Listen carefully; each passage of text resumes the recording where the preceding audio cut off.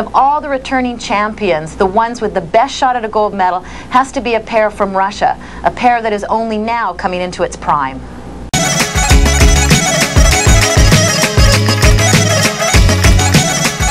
Katerina Gordeeva and Sergei Grinkov.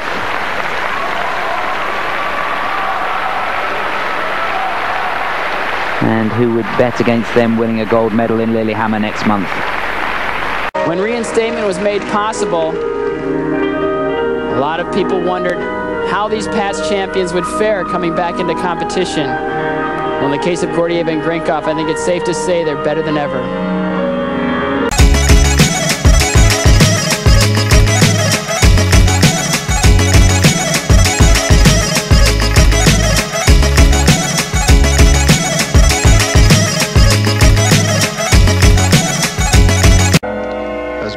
Wife. They now have a little baby. And that's truly amazing to think that she's back on the ice competing again, starting with side-by-side double axel.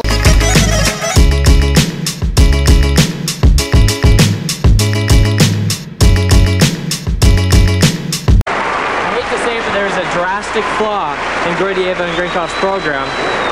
Uh, it's just not long enough. Yeah, on the ice right now, if we, if we can go to another shot here, we've got uh, folks coming uh, number one out of last night's right. competition, Gordeeva and Grinkov. Let us talk about Gordeeva and Grinkov. They're in first place right now. You know, the competition is really theirs to lose.